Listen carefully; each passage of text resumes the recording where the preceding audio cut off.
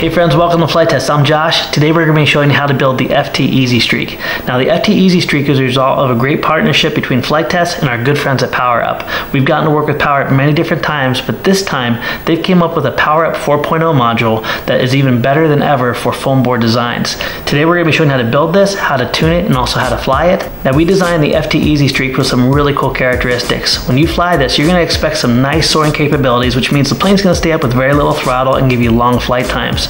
Along with that, you're to have long sloping burns, and you're also going to have characteristics very similar to what we have in many of our Flite Test airplanes. And the great folks at PowerUp already have pre-configured profiles to give you the best flight performance possible with their new PowerUp 4.0 system.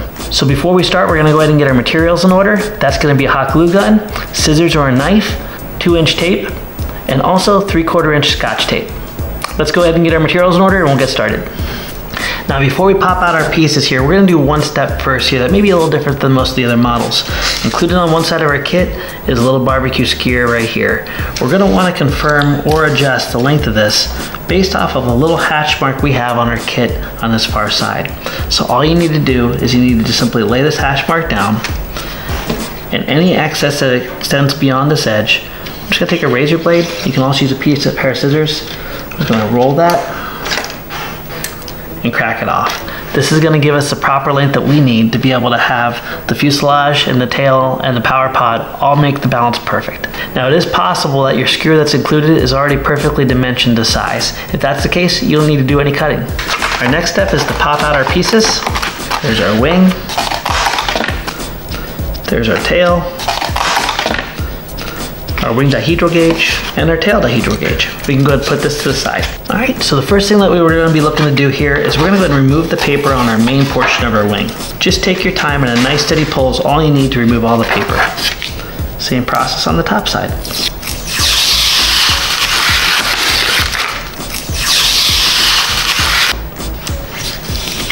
All right, let's go ahead and remove the paper on the back side of our tail as well.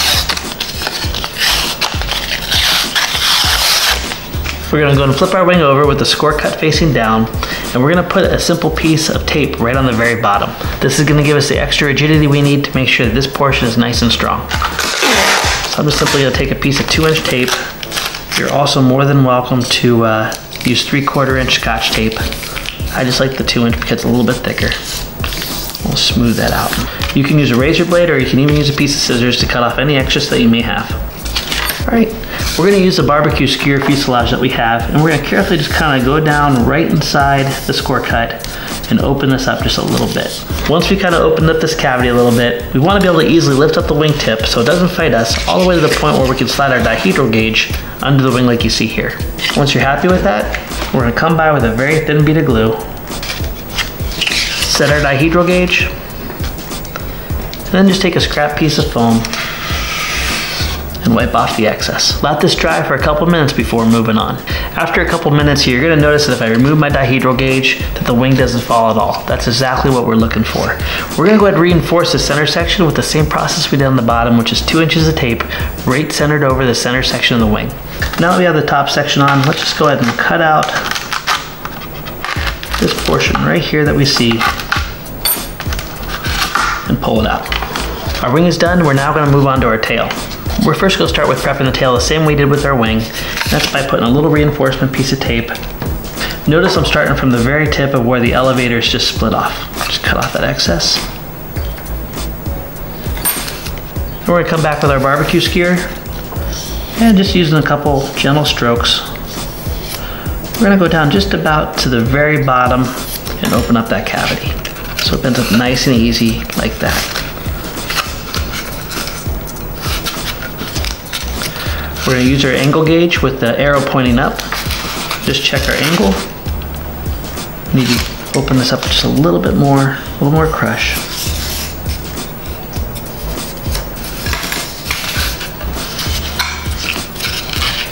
And once we're happy with that angle, small bead of glue doesn't have to be too excessive. Get our angle there. We'll wipe off any excess that we have, and then we'll just hold our angle gauge until everything is thoroughly dry. After about a minute and a half or two minutes, you're gonna notice when I move this away, our little tail doesn't move a bit.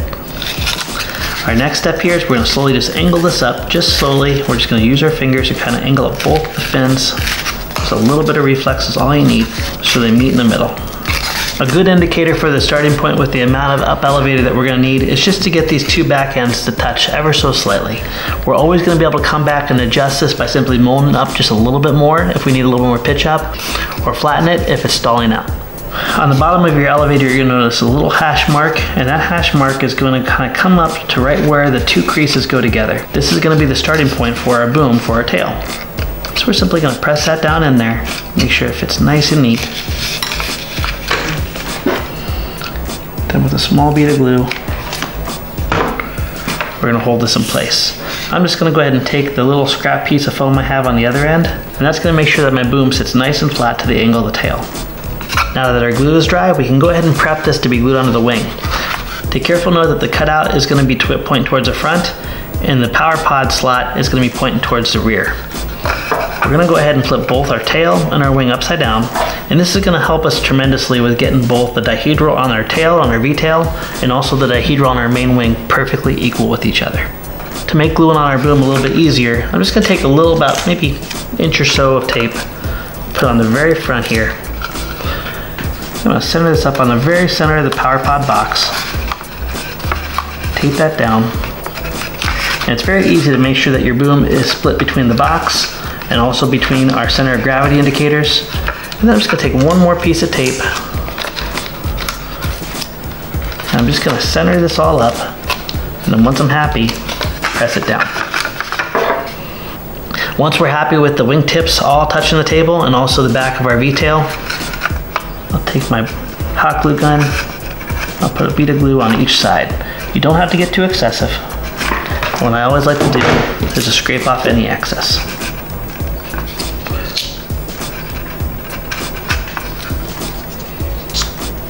And we're going to hold this for about 30 or 40 seconds. Once the glue is dried, you can make one last check to make sure that everything is nice and centered when you pick it up. I'm just going to take my razor blade and fold over those edges of the tape on the front and on the back.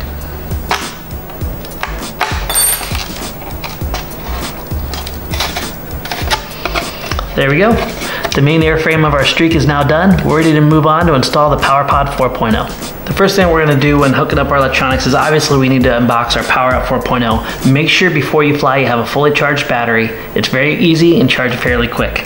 Along with that we also have our accessory pack which is going to be all the stuff that you see right here on my right and that's going to be your horizontal clips, your vertical clips, and also your sliding clip. Along with that you'll have six screws and a set of landing gear. For our streak specifically we're going to be installing one vertical mount. For our streak, we're gonna go ahead and install our vertical mount with the vents pointing down. Just gonna start one screw and then the other. We'll be able to slide this forward and backward to get the proper center of gravity, and once we do, we'll go ahead and lock those screws down, and that will get our center of gravity locked in place. So right there, we just have a little bit of a friction fit. I'm just gonna tighten it just a little bit more. There we go, perfect. Now with our streak here, you're gonna notice that we have a big open rectangle. That's exactly where our vertical mount is gonna go. Along with that, you're gonna see a little tiny tab at the very end. What I'd like you to do is take a razor blade and just kind of open up a little tiny tab at the very trailing edge. Now, every single plane is going to be a little different depending on how much glue you used, but a great starting point is to place the fin right into the foam at the very trailing edge, like you see here. We can then use the vertical mount to press in and grip on the barbecue skewer and move this forward and backward to be able to get our center of gravity. For any reason you may need more nose weight, you are going to need to remove a little bit of foam on the trailing edge of the wing, but this should be very close for where you need to start. Once we find the center of gravity that we want to start with, we're just going to take a little tiny piece of tape and we're going to lock that down.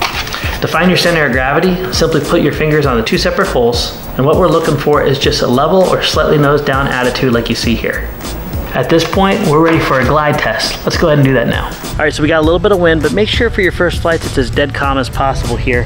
Our plane balances out real nicely. We have our elevator deflected up just so slightly. We can play with the center of gravity and also the deflection on our elevator to get the characteristics we want. We also loaded the FT Easy Streak in the profile, which means all the tunes for this are already programmed for you to give you the best flying experience. Let's go ahead and launch it and see how she flies. I'm gonna hold this down, a little bit of throttle,